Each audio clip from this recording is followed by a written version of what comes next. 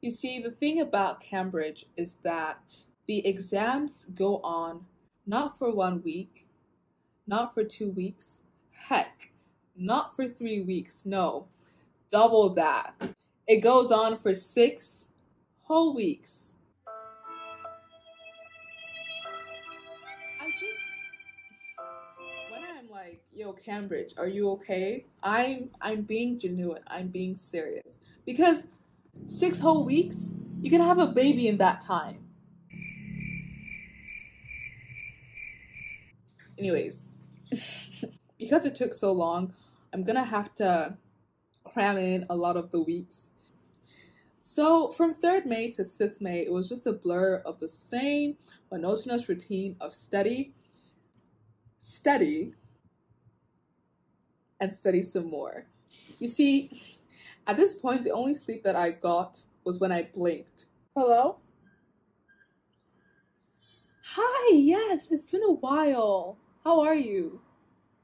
Yeah, no, um, yeah, it's been just like two months, a month. It felt like forever. Yeah, no, definitely. I'll see you again in August. Yeah. I'm so sorry. That was my friend. Sleep deprivation. Was that sucked. I'm sorry. Um, I just thought of it and I was like, let me do it. So sleep deprivation was my best friend because you see, this week I had my first geography paper, my two English papers, two of my French papers, and finally my last math paper. See, I was finally going to close that horrific math binder forever. With so much to do, I waved goodbye to my phone and more importantly to Pinterest.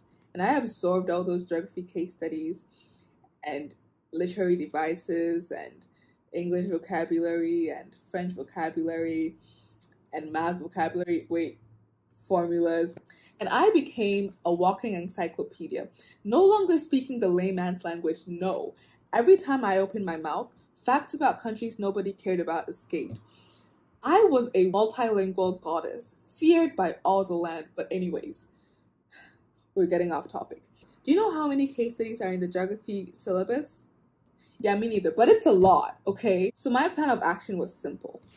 I looked at the 2018 case studies and I canceled them out because those were not going to come. And I focused more on 2014 to 2016 case studies because, you know, that plan was definitely foolproof with no loopholes whatsoever.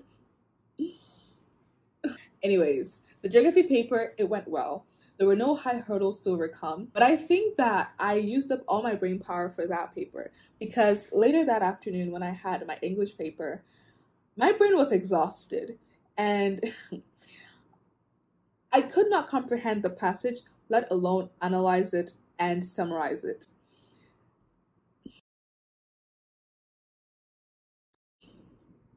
So, all in all, that experience gets zero stars on Yelp. It was, I would not recommend. So, on Wednesday, I barely survived my French listening and I stumbled my way through the French writing. And finally, on Thursday, I met my final math paper. See, I was honestly feeling relieved before I even entered the exam room to start. I was already like, whatever, whatever happens, happens, in there, whatever, whatever happens, happens in the battlefield, battlefield you're done, you're done okay? okay? Like, like, say, like, bye, bye to this chapter, chapter forever. forever. Cherish, Cherish every, second, second of it because, because you're done. You're done. so with my math paper, there's really nothing to say except that that Pentagon question cost me 10 marks. But anyways, who is surprised anymore, really? So on Friday, English rolled around, and I mean, I had to be at the top of my game because that first paper was haunting me. So writing that English paper, Shakespeare himself rolled around in his grave. Like Dickens was shook. Emily Bronte was quaking. No, Jane Austen, who? I honestly, I honestly became one with words. I'm honestly till date very proud of that paper, even though I know that I messed up somewhere.